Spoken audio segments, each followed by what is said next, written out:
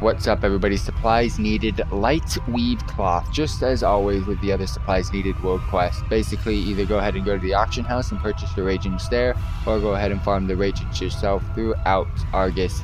Um, but other than that, let's go ahead and get these Lightweave cloths in and turn them in.